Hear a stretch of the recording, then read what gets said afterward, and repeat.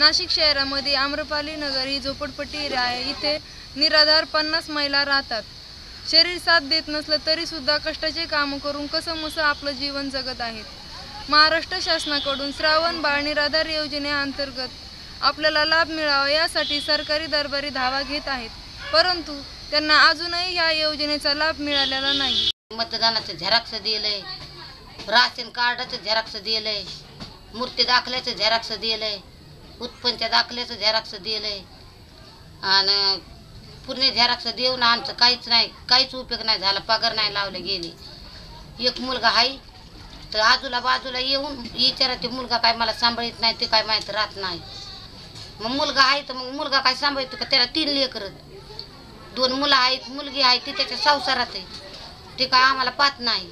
ते लांब गेलेला ला- राहायला इगतपुरीकडं. त्याचं काम आहे तिकडंच आहे त्याचं संसार पाणी तिकडंच राहते ती मुलगा.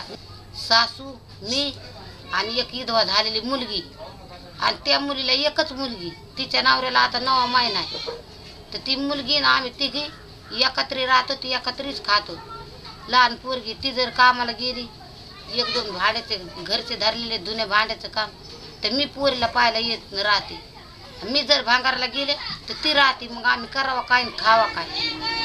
तिलाही पगारी पाण्याची सोय नाही मलाही पगारी पाण्याची सोय नाही. श्रावण बाळ निराधार योजना अंतर्गत विधवा महिला वृद्ध महिला व ज्यांना मूलबाळ नाही अशा महिलांसाठी सहाशे रुपये महिन्याला अर्थसहाय्यक दिल्या जाते. शांताबाई लाखे यांच्या कुटुंबात त्यांनी दोन हजार तेरा पासून श्रावण बाळ निराधार योजनेचा लाभ मिळण्यासाठी अर्ज केलेला आहे. या योजनेच्या खऱ्या लाभधारक असूनही त्यांना या योजनेपासून वंचित ठेवलं आहे. दोन लेक मरून गेले. आता मग मी सुनाजवळ आहे. एक मागून खाते. मै मै हे तुम्ही करा. सोय करा बघू. मी आज आई राहण्यात बसलेल्या वाणी वाटतंय मला. बरं मला कोणी नाही.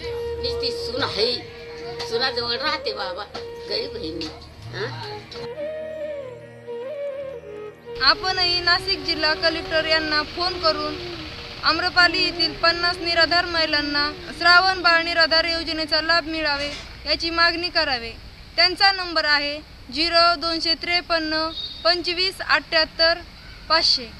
मी माया खोडवे आम्रपाली नगर नाशिक महाराष्ट्रातून इंडिया अनहटसाठी.